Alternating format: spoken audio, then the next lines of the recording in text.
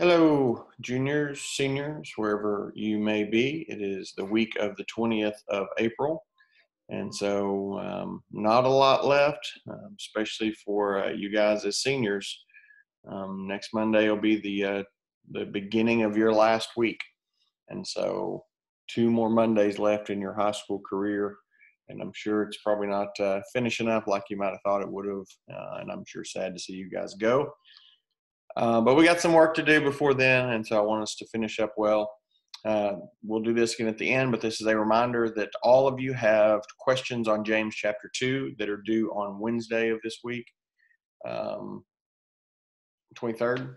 So, 22nd, excuse me. I don't know, Wednesday. Uh, do we even really know what day it is anymore? Uh, they're due on the 22nd uh, by midnight that day. And then again, we'll have one more session of them, and seniors, you'll have just one more set of those. So uh, do well. It's not busy work. Do some Bible study and, and get something good out of it.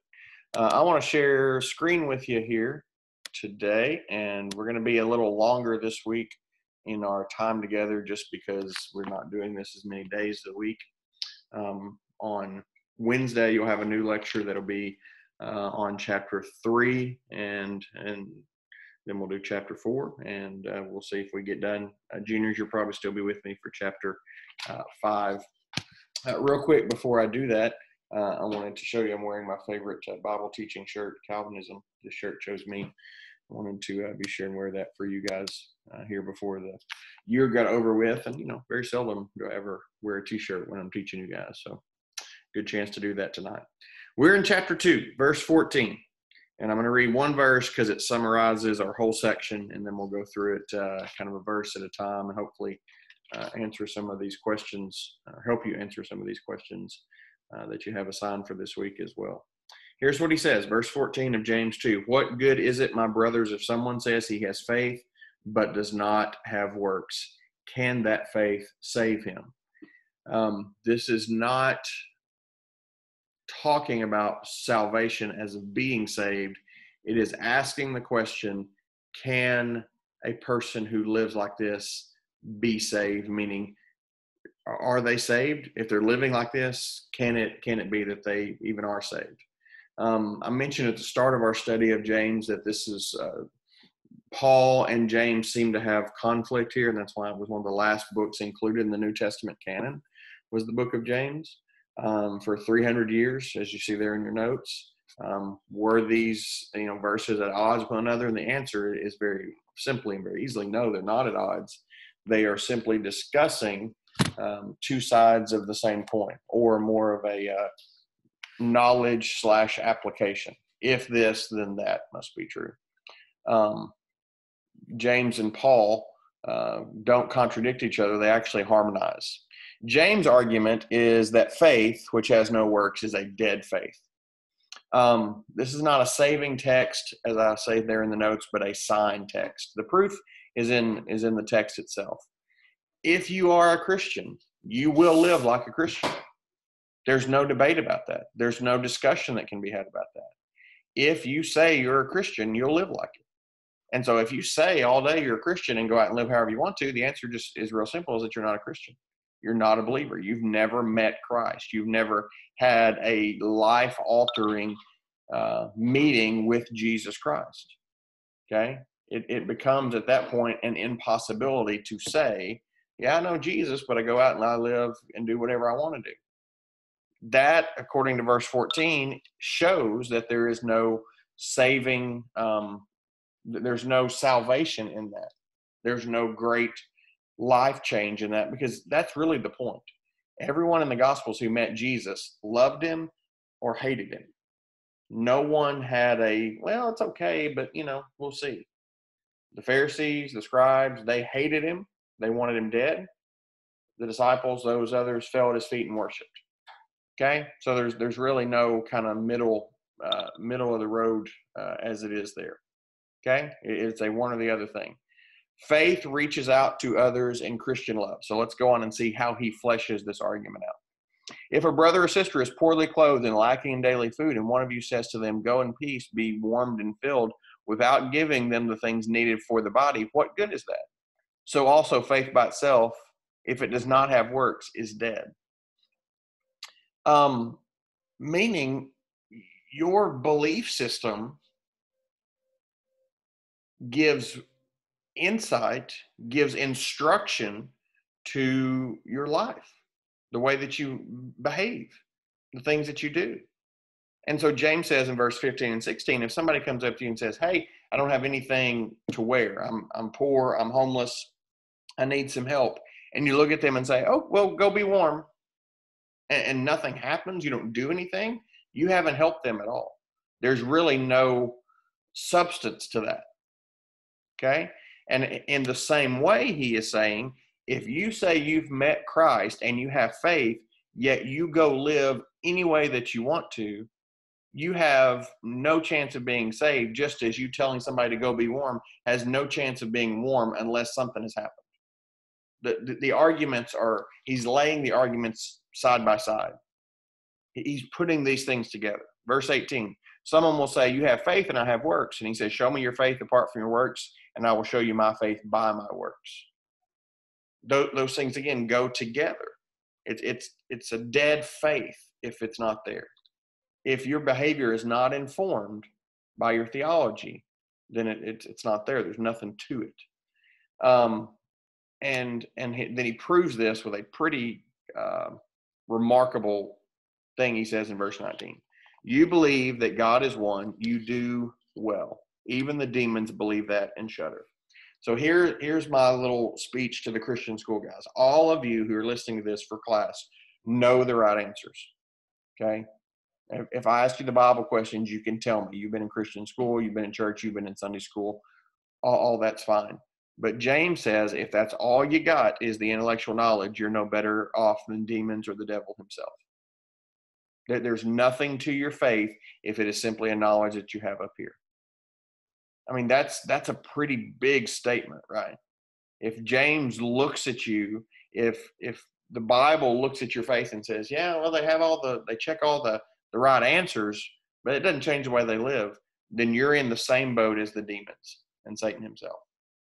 I mean, that's that's something that ought to, if nothing else, for you guys. I hope it gets your attention is that you just realize that man you, you may have fooled me and you may have fooled you know all the teachers at school and whatever but a faith that doesn't have actions to back it up doesn't have substance is no better than being the devil in this passage. Verse 20 do you want to be shown you foolish person that faith apart from works is useless? Was not abraham our father justified by works when he offered up his son isaac on the altar? You see that faith was active along with his works, and faith was completed by his works. Okay, he, he's just driving the point home. Okay, he's just driving home, and he just says there in verse 20, Don't you get it? Don't you understand? And uh, I've got some word study in, in your notes that'll actually help you on some of those questions. Okay, but uh, just that's that's the point of this section. So wake up. The proof of the text is that there's got to be an accompanying faith. There's got to be an accompanying works, excuse me, with the faith. Otherwise, it's it's no no better than the the demons. Okay, because it's just intellectual head knowledge, and it really hasn't changed anything. Which, by the way, let me chase rabbit for a minute. If you know this stuff, if you know that there is a God and it hasn't changed your life, that that terrifies me. Like you know who God is and what He's done and what He expects, and you are unwilling to bow to that God and change the way that you live. And of all the people that that you don't want to line up on the wrong side of, that that's that's got to be the number one, right? So I, I, would beg you to consider that. I would beg you to get, reconsider that. Uh, here's the pattern. Here's what works look like. Verse 21, the triumph. Abraham was justified by his faith. Okay, Abraham's life, and I'm going to go through these things really quickly. He was called to leave uh, Ur. He was called to give up on his life, he, the things that he had, the the the family money, all, all that kind of stuff. Leave all that, go where I tell you to go, um, and, and, follow me. And over and over again, A, B, C, and D. There, here's these things where he's just got to believe by faith. Hey, Abraham, I'm going to make you a, a great nation, and you got to believe me. You just got to give me time, and at the right time, I'll give you offspring. They're in their hundreds of years old. They're well past childbearing age and eventually the child comes and as soon as the child comes not long after, what does God do? Hey, Abraham, give, give me your son as an offering. God wasn't going to take a child sacrifice. That's not what that story is about. That story is to show that Abraham's faith was fully invested in God. Did God need to know that? No, God already knew. Abraham learned through that.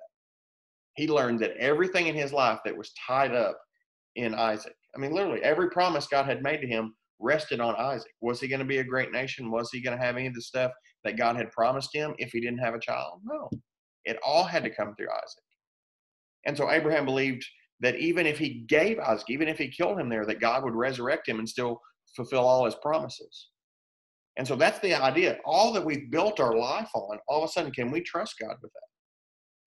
we're sitting here in the midst of like a month long thing where we're at home and a lot of people have lost a lot of ability to do stuff and i'm not saying we shouldn't be disappointed by those things but like if you're despondent if you're just completely upset because of the privileges and the stuff that you've lost you should be kind of concerned because maybe those things are the things that really bring you joy instead of god the father like if, if all those things went away if all the stuff that god has given you if god took all that back would you still worship him would you still love God to the same degree that you love Him right now? Or do you just love Him because of what He's given to you? If you just love Him because of His blessings, then God's not your God, your stuff is. And you're just glad to have God there as a supplier of your stuff. And so that's who Abraham is. He gives it all back. And, and I put in your notes, that's the triumph. That's that's the the victory he had because he got credit for that because he fully believed God and it showed in his actions. If he didn't fully believe that God could keep his promises, he's not giving his son on the altar. He's not offering uh, Isaac on that altar. But he fully believes God, and so it shows up in what he does. Verse 22 says this faith was active along with his works. So uh, the point of all this, and you can see all these things that Abraham's works. What did all did he do on the way to give Isaac? Look in your notes. He rose up early. He saddled his donkey. He got his servants. He got the wood. He got the fire. He got Isaac. He went up the mountain. He built the altar. He laid Isaac on it. He raised, I mean, everything that he did, all of his actions were based on faith that he believed God. And because he believed God, he did every one of those things that's there in your notes. He did all those things. Those were all actions that were results of what he believed. And so every action that you guys do is based on your belief. So when y'all do something, uh, you know, in class for better or for worse, if you cheat on a test, if you tell a, a dirty joke, if you do for negative or for good, all of those things tell me, we, we all tell on ourselves. We, we tell what we really believe by what we do because all of our actions are informed by what we believe. You say, "Oh, not no, Dr. Crow. I, I, don't really think that. I'm just doing that. I'm not really racist. I just tell this joke. I'm not really that." Yeah, you are because that th- those are the things you become. Those are the things you do are based on what you really, really believe. Every single person in Scripture, every page of this is covered with men and women who did what they did because of what they believed, for better or for worse. Verse 23 Scripture was fulfilled that says Abraham believed God and it was credited to him or counted him as righteousness and he became a friend of God. Again, all everything that he did was based on what he believed and what he believed then showed up in his life. And it was imputed to him in verse 23. I mentioned here in the red in your notes three imputations in scripture. Number one, we all get Adam's sin because he's our federal head. We've talked about this in scripture original sin. We were all born sinners because of Adam. If you have an earthly father, you have a sinful nature. It was imputed, it was given to you. Babies do wrong things, even though they're not taught to, because they are sinners by what's in here, not what's around them. Jesus then gets our sins imputed to his account on the cross. He gets what we deserve, imputation. And then when we get saved, that gets imputed back to us. We get the righteousness of God, even though we don't deserve it. We've never earned it. So, this idea of imputation is a big deal, and it's here again in the scripture. And we've talked about it some in class.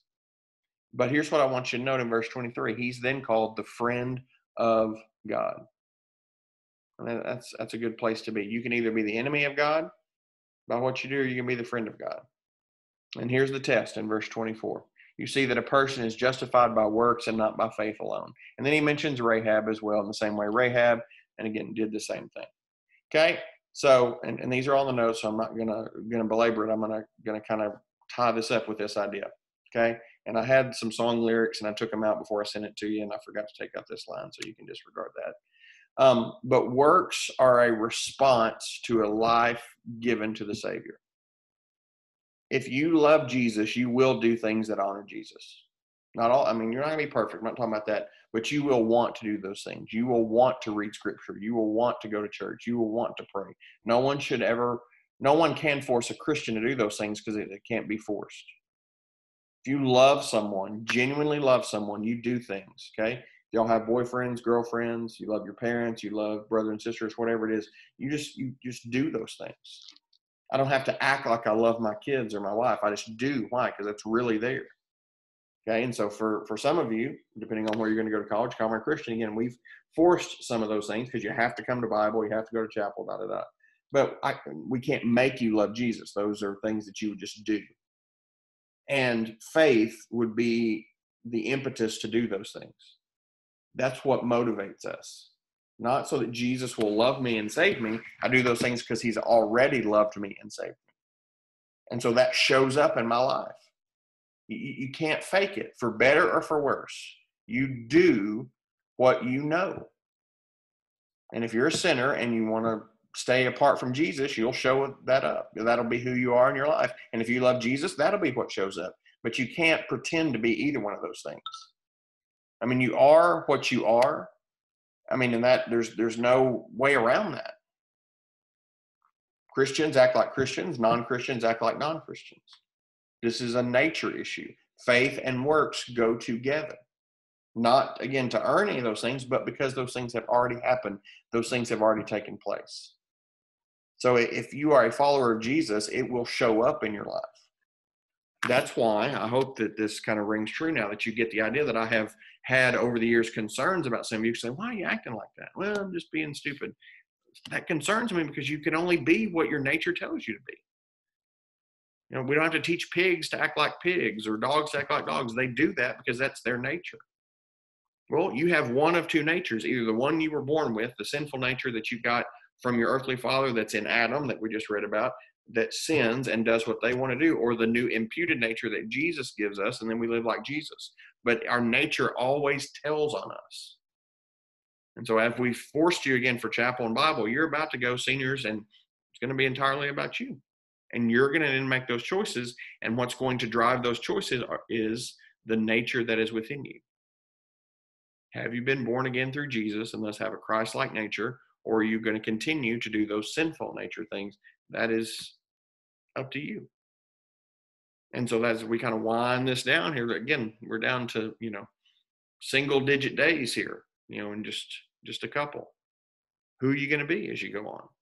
Juniors, as you finish this year and we come back to school in August and do your last kind of victory lap, who are you going to be?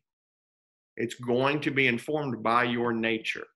Faith and works go together. And that's what the book of James tells us here in chapter 2. Okay? Again, questions that are due this Wednesday, don't forget about those. And uh, we will have a new lecture on Wednesday as well that'll start into James chapter 3. It's going to deal with one of those nature things, and that is how we talk. What comes out of our mouth? That is a big issue for all of us.